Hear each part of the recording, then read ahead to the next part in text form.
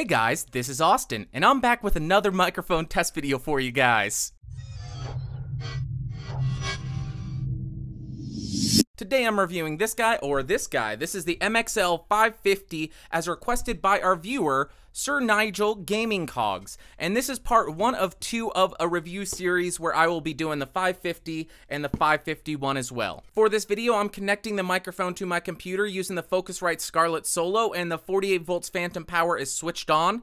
And I do need to note, this will not work by plugging directly into your computer. You need an interface or a phantom power supply to get it to turn on at all. And lastly, if you are interested in this microphone set, it'll set you back about $77 on Amazon. And as per usual, link in the description. So now let's go ahead and talk about what you get in the box. You're obviously going to get the microphone. You also get the microphone mount. Unfortunately, it does not come with a 5 8 to 3 8 inch microphone stand adapter, so if you're connecting it to a boom arm, you need to make sure you have one. It also comes with a hard shell carrying case. You get a microfiber cloth to clean your microphones. Obviously, you get documentation as well as a one year warranty. So as far as the build quality, I think this thing feels pretty nice. It has an all metal construction, a metal grill, and it does have a little bit of weight to it as well. The microphone mount is plastic and it provides no shock absorption, so I'm not a big fan of it. And if you're going to be using this in a studio setting, I would recommend getting a shock mount. And the plastic carrying case feels really nice, and I think it will provide sufficient uh, protection for the microphones. So as far as the specifications, this microphone has a frequency response of 30 hertz to 20 kilohertz.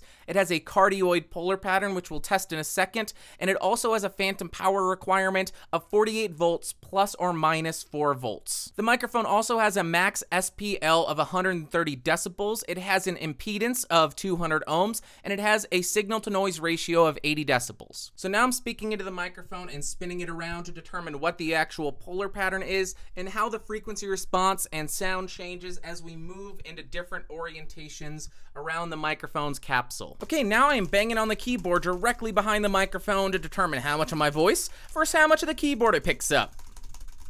Now I am about one foot away from the MXL 550. Now I am about two feet away from the MXL 550. Now I'm about four feet away from the MXL 550.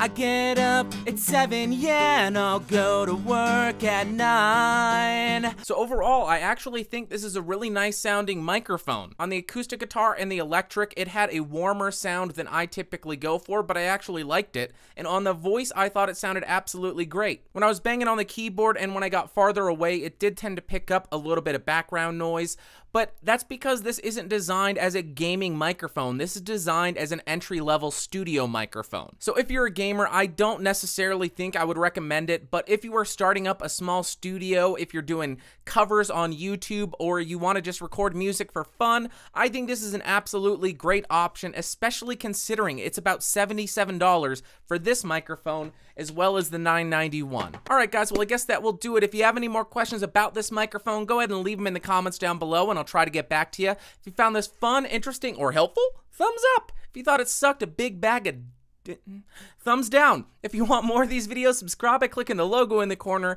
and don't forget to vote for the microphones you want reviewed next, as well as follow me on every single social media site out there. Links to everything in the description down below. Thank you guys for watching. I'll see y'all later. Bye.